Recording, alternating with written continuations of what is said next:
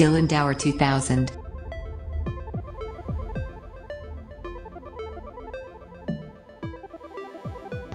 Hey guys, what's up? Dylan Dower 2000 back with another video on Dolphin Emulator. I know I've done these Dolphin Emulator tutorials in the past, but this one is going to be for Dolphin Emulator 5.0 and this is mainly going to talk about adding games to your directory. I haven't really covered that in 5.0 or 4.0, so I'm going to cover it in this version. And I know you guys have been viewing Dolphin Emulator tutorials a lot lately, so heck, let's get into it. Alright, so guys, as you can see, I've opened Dolphin Emulator and I clearly have zero games. But we're going to fix that by opening our directory and adding new games in the directory. So first we're going to need to open Google Chrome and download these ROM files to our game.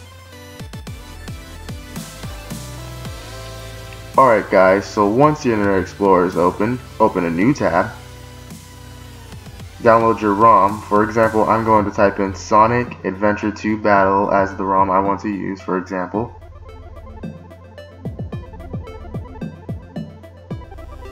Go ahead and search that up and wait for Google to load all of your results for you. We're going to skip right to the download, which is right here. I've already have it downloaded right, right there. My drawing skills aren't the best, but you can see right there, it's been downloaded already.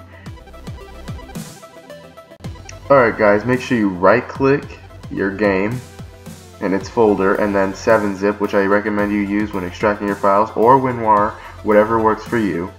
Then click extract files. And for me, I'm going to click desktop because I prefer it there because it's easier to use. In fact, actually I'm going to put it in its actual folder where it should be, which is which is in documents. I don't want a lot of stuff on my desktop, so I'm going to put it in my documents slash dolphin emulator, which is where your dolphin emulator data goes stored. So I'm going to put dolphin emulator backward slash dolphin games